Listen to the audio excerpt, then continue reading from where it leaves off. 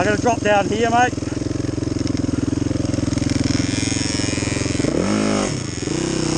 Thanks anyway, dude.